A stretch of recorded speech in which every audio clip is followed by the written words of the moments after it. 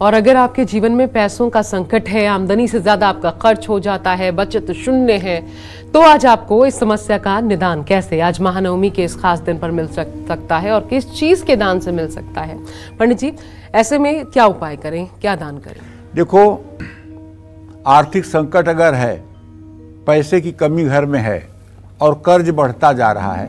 तो नवमी से शुरू करते हुए पाँच गुरुवार किसी सुहागन स्त्री को श्रृंगार की सामग्री जैसे बिंदी का पैकेट, नेल पॉलिश, लाल चूड़ियाँ, रिबन, कुमकुम, लिपस्टिक, ये सब चीज़ें आप दान कर सकते हैं। सफलता पाने के लिए लाल कपड़े में इक्कीस चूड़ियाँ, सिंदूर, दो जोड़ी चांदी की बिछिया, पाँच गुड़हल के फूल, बयालीस लौंग, सात कपूर और एक शीशी इत्र की बांधकर देवी दुर्गा के चरणों में अर्पित कर सकते हैं। कुंडली में शुक्र ग्रह अगर कमज़ोर है तो नवमी के दिन किसी सुहागन स्त्री को श्रृंगार की सामग्री के साथ साथ इत्र भी दान करना चाहिए। जय माँ विंध्यवासिनी